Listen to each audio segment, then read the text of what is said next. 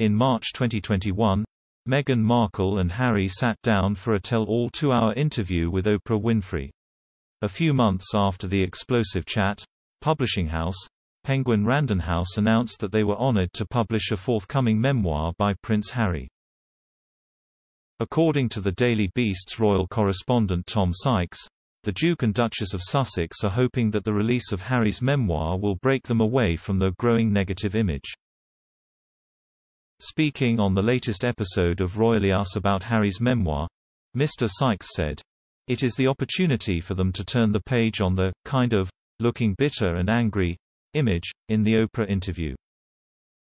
He added, I do feel like ultimately, and it was received differently in the UK over here, to how it was in America, but I do feel that ultimately they didn't come out brilliantly. They didn't land the killer punch on the royals. Mr. Sykes continued. The stories were, kind of, conflicting about who said what, and when they said it. Oprah, I felt, didn't interrogate it fully enough. He added, So, I felt that overall, they didn't come out brilliantly. I think that people had very little sympathy for Harry pleading poverty. I thought that was a really really odd thing for him to do. He noted how it was odd for Harry to claim that his father cut him off financially, despite previously stating that he, and Meghan, wanted to work to become financially independent.